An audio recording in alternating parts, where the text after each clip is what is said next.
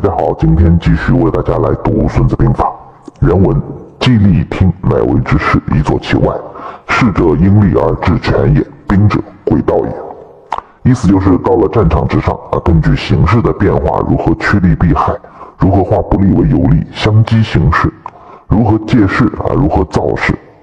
曹操的注解叫“常法之外也”，常规的方法之外的一些策略。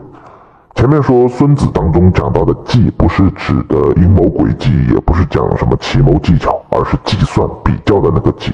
不过孙子也不是不讲那个阴谋诡计啊，兵者诡道也。所以接下来就要开始讲诡计了，他一下子讲了十二条诡计。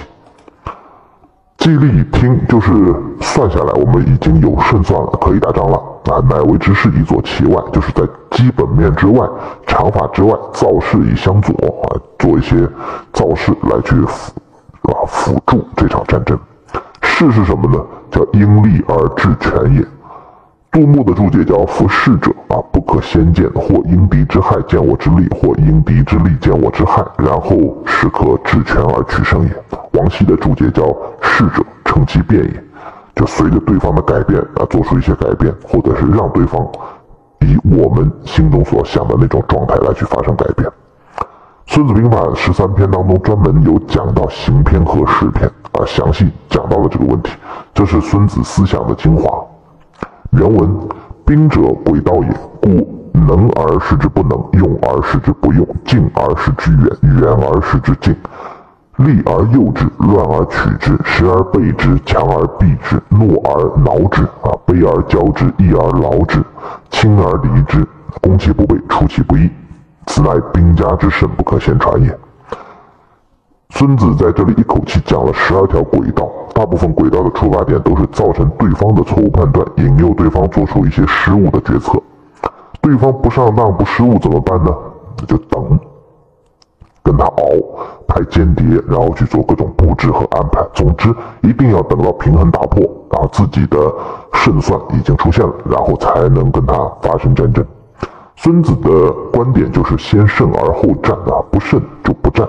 没有胜算就等，不能等待是有巨大性格缺陷的。总觉得战斗当中啊，只有拿起刀跟对方去厮杀才叫英雄好汉，不懂得等待其实也是战斗当中的一部分，而且是相当重要的一部分。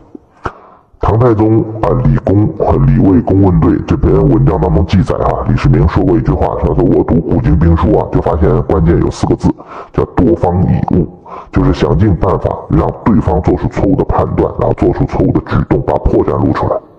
李靖啊就说，对，打仗就像是下棋一样啊，一招失误，满盘皆输，捞都捞不回来。但是到了唐玄宗李隆基啊，他就没有了他爷爷的智慧。安史之乱当中，哥舒翰镇守潼关，死守不战。李隆基急于平叛啊，就下令哥舒翰出战。由于之前李隆基呃这个李玄宗啊已经斩呃斩杀了他认为作战不利的名将啊封长清和高仙芝，那么哥舒翰知道如果出战那必败，但是不出战那必死，而且还得换一个将军来统领这个军队。没办法，被逼着率军出关，结果二十万大军全军覆没，潼关失守。眼见长安不保，玄宗是仓皇弃城逃往四川。十二条轨道，十一家注解，所以案例颇多。我们逐条来了解一下。首先，先说第一条：能而示之不能。张玉说：“时强而示之弱，时勇而示之怯。”李牧败匈奴，孙膑斩庞涓，都是这样子的。李牧是战国四大名将之一哈，赵国的将领。另外三位应该并不陌生啊，白起、廉颇和王翦。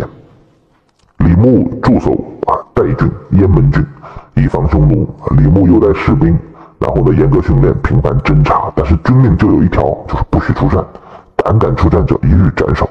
这个免战牌一挂就挂了好几年。由于李牧把全部人都缩入到了营垒当中，坚壁清野，匈奴来了就算想袭扰也无功而返。李牧几年不战，不但匈奴受不了，连自己的士兵也受不了，连他背后的君主赵王也受不了了，认为是李牧胆怯，于是将他撤换掉。新将哈一改李牧坚壁清野的策略，来了之后就频频出击，结果败多胜少，损失极大。赵王不得已再次请李牧去官复原职，但是李牧称病不出，赵王无奈啊，只能答应他不再干涉他的军事策略。作为交换条件，李牧再次官复原职。李牧回去之后又是几年不出战，但是他可没闲着啊！他把原来损耗的那些士兵啊，再次招募兵丁，然后开始训练士兵，练兵抓得很紧，比打仗还忙。经过数年的经营准备，李牧的边防军事啊，兵强马壮，军队士气高涨，士兵憋足了劲，宁可不要赏赐，也情愿与匈奴决一死战。而此刻的匈奴就松懈了。这个时候，李牧决定决战。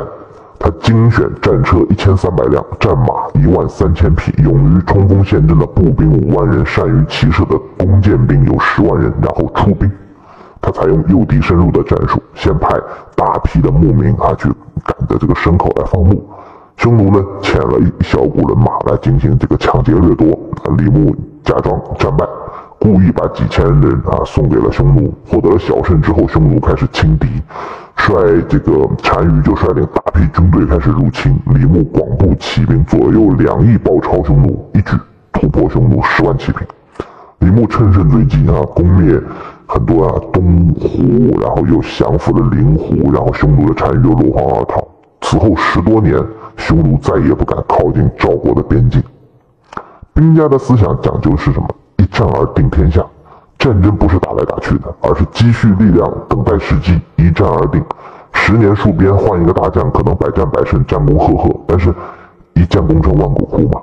哎，要是这个将军退休了，他什么问题其实也并没有解决。换一个大将，然后呢，接着来打。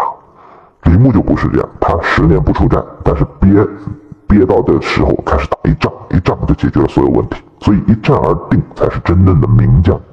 百战百胜就是打了一百次胜仗，但是还没有解决问题，那你打了什么意思呢？就是劳民伤财了。所以百战百胜是兵法还没有入门，不会打仗。再说世界上哪有什么百战百胜这回事只不过是把败仗给藏起来不说而已。其实做任何事都是这个道理，不该动作的时候就什么也不要做，做一次就要解决问题。多少事儿其实都误在一个频频动作上。为什么频频动作？无非就是一种焦虑的情绪。李牧不出战，损失了什么呢？其实他什么也没有损失啊，但是士兵们焦虑了，匈奴焦虑了，赵王也焦虑了，于是他们就各自都动作了。那动作了之后就输了。其实他给李牧的任务啊，你想赵王给李牧的任务就是边防嘛，那么边防根本没有出错，他有什么意见呢？那就他就是想要干点什么啊，才能缓解自己的焦虑。于是只要动他就错，小心你的焦虑性动作，这是最有可能毁掉你的。